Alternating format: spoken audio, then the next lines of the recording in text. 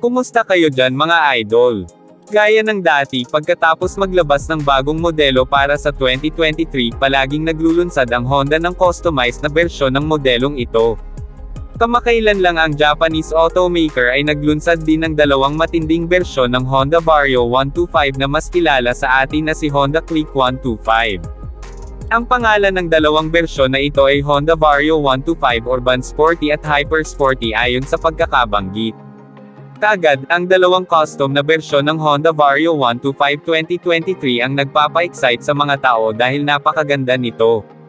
Ang parehong mga bersyon ng Honda Vario 125 na ito ay nagtataglay pa rin ng ESP engine block, single cylinder, SOHC, apat na stroke, 124.8cc na kapasidad.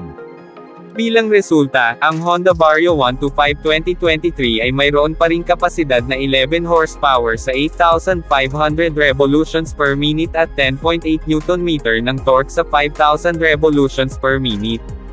Ang Honda Vario 125 2023 ay kumokonsumo ng gasolina na 1.93 liters kada 100 kilometro.